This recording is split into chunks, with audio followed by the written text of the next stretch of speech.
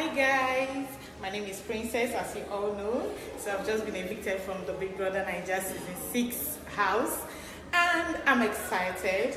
Thank you everyone. Thank you guys for your support, the love. I mean, it's been an amazing experience. I love you guys, and I can't wait to meet you all. Thank you.